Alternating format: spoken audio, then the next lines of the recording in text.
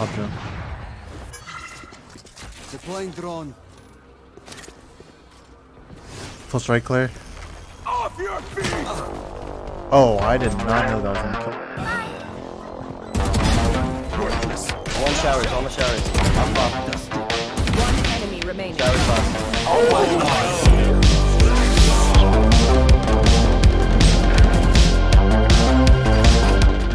Yo, what's up, cuties?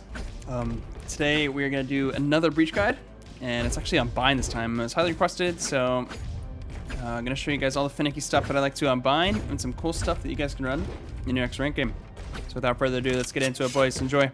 Okay, so I'm gonna start off with the um, defensive side flashes. Uh, I'm gonna do the aggressive flashes, which is honestly the the best uh, util usage I get on breach on this map.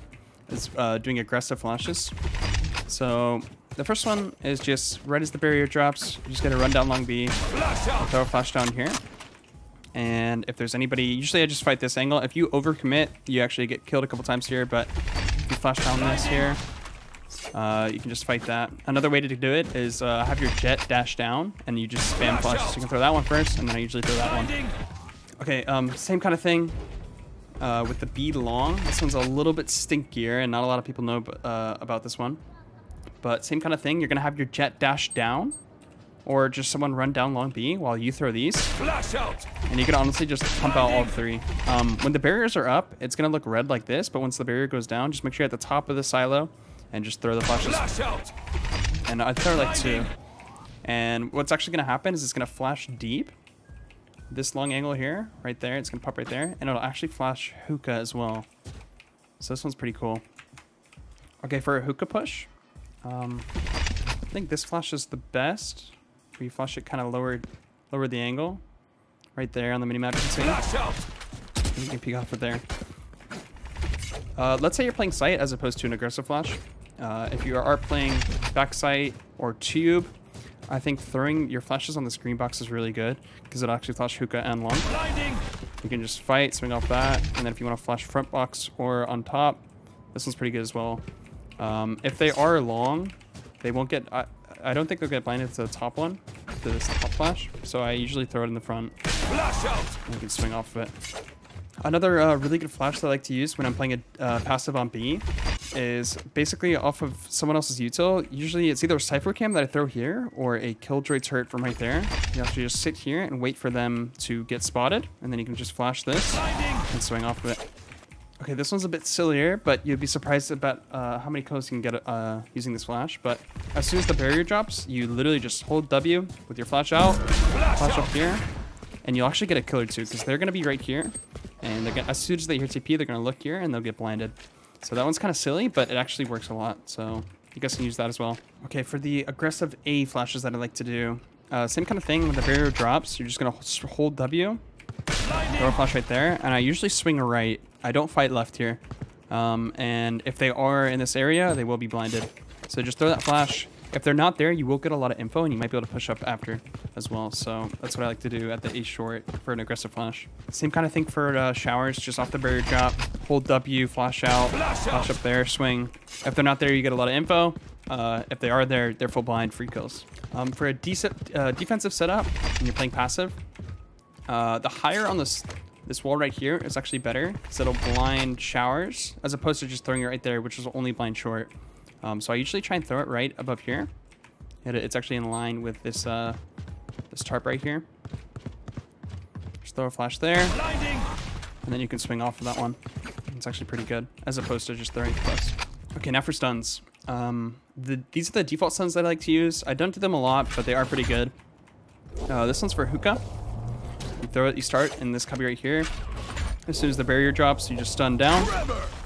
And it'll keep them off of uh, hookah for a little bit. Also, it might stun the Raze nade. Or sorry, the ruse, uh, Raze boom bot. So that one's pretty good.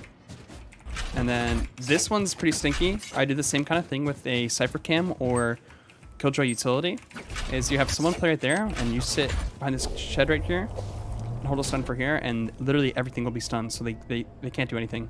So you, uh, Killjoy bot gets triggered, you stun, your teammate from right here swings and you'll get a kill or two. Okay, now for my uh, A stuns, I think the best two There's not really a lot you can do with stuns, but um, I like to pair this with an aftershock. Let's say they're coming up a short. You aftershock this cubby, and then you stun all the way down a short, and then you can actually swing. What they tend to do is hide behind this box because they're stunned, and I usually just put like 15 bullets or so in that box and try and get a kill off of that. For my bathroom stun, um, same kind of thing with the Killjoy or Cypher utility. If you see one in bath, you can have someone playing close, uh, like right here, or right here, and you just set up a stun. Hopefully they're not coming up short and you have info, or you have someone aggressive here.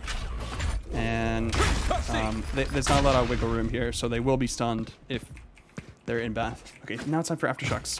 Um, I think when I like to use my aftershock is for Sova drones or bomb plant. Um, the most common places for Sova drone are here, here, and here.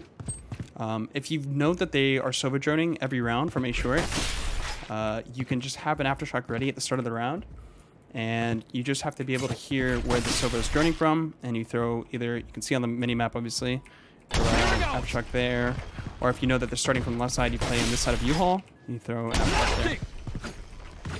Um, otherwise, for bomb plants, you can either play Heaven or CTA, and just get ready to aftershock the bomb uh, for post plant. Okay, now for B aftershocks. Um, same kind of thing. We're kind of trying to focus Sova drones. Uh, this will actually eliminate their utility, which is kind of a hundred dollar for three hundred dollar trade off, if that makes sense. Um, this is a little. This is only a chip damage aftershock, but you can see on the minimap if they are droning from right here, this will hit them for 60. And when they get hit by the Sova drone, it, uh, they're not able to use it anymore, or when they're hit by the aftershock. Um, so it'll actually cancel out their utility, which is a pretty good trade off. Uh, the other one that I like to run I usually cross to this side, and I'll just throw the aftershock right here, and then cross out there. Um, otherwise, for aftershocks, uh, if you want to play post plant, or sorry, not post plant, but uh, you want to stop bomb plant, you throw it through here. Actually, the, the default plant is right there. Okay, now for ultimates. Uh, I kind of struggle with ultimates on this map, but there are some pretty decent ones. I think the best time to use ultimate is kind of for retake. Uh, if you're playing B, you tell your team, hey, let's play retake A this round. Um, the best ults are right here for U-Haul. You just ult U-Haul, have your team swarm U-Haul and get in there. Uh, otherwise, if you know they're playing site, you can come in the CT area again. And this will ult bench, triple, and a little bit of showers. Um, if you guys didn't know this already, you can actually use your breach ult to get up on the higher places.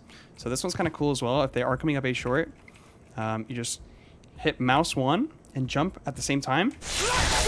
And you actually get up on top of triple, or on uh, APC here, and you can fight after your breach ult. So that's kind of a cool little trick. Um, same kind of thing for retake. I think if they're coming B, and you know they're coming, you play the elbow area, and you can just get ready to breach ult site. Tell your team, hey, let's go. I'm breach ulting now. And you guys just fight site, and all you have to worry about is hookah and long at that point. Okay, now time for the T side. Um, I'm going to start off with stuns, and then we'll get into um, some flashes and some setup plays that you can run on the attacker's side. Um, so the barrier's going to be right here. So this is a default stun that I like to use. You just stun all the way across and it'll actually hit bath. And if you have your teammates going bath, um, they'll be able to get that orb pretty easily. Uh, the other stun that I like to use on the A side or the B side is uh, hookah. It's not going to hit everything, but it will hit a large portion of it. You just tell your team to push in. All right, I'm stunning, and then your team can go in. So those are my uh, favorite two stuns on the attacker side. Okay, now I'm going to show you guys um, a couple of the set plays that I like to use on bind. Um, this requires either a movement character, which is Raze or Jet, and then Breach as well, obviously. Um, so when I like to use the Jet, uh, ideally we have a Sova. Sometimes, a lot of the time you don't have a Sova, um, but your Sova will drone up short for you. As he's running up short, Jet's going to be behind the drone as like the second entry to the drone. And then I'm going to be behind A short as well. Um, so what's going to happen is Breach is going to flash up on this right wall.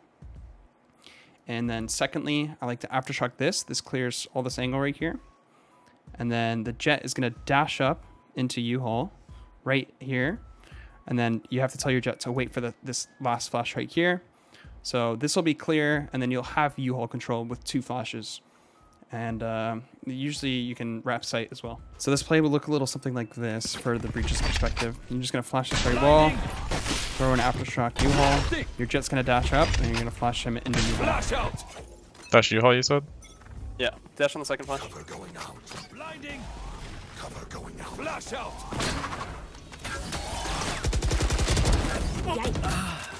Okay, um, this is uh, an alternate to that play. Um, same kind of thing. I like to do this when Jet has knives, but you will let your dr- Sova drone up short, and your Jet's gonna go up short behind it. Uh, what I like to do is flash, same kind of flash on the right, and then the second flash is actually gonna be behind this truck. And as he throws the second one, Jet's gonna dash on top of the truck with her knives, and uh, you can actually just uh, fly into the site with jet and a couple flashes, and it usually results in taking the site. Okay, now for aftershocks. Um, I think how I like to use my aftershock is usually for a post plant. Um, if you're in U-Haul and you're playing post plant, you can just throw the aftershock from here, and it'll stop the bomb plant. Um, otherwise, uh, the other best place to use it is CT here. This will buy about three to five seconds of time as I'm unable to push through that aftershock. Okay, the uh, best aftershocks for B. Um, it kind of depends where they're playing. Let's say if I play hookah a lot, you can just use it in hookah. Uh, clear the left side and then push in off of the flash and clear the right. Um, otherwise, another good really play with aftershock is you actually aftershock the mid two here, and this will require them to go to the left or right, and you actually just spam either side of the uh, box here. Okay, now time for flashes.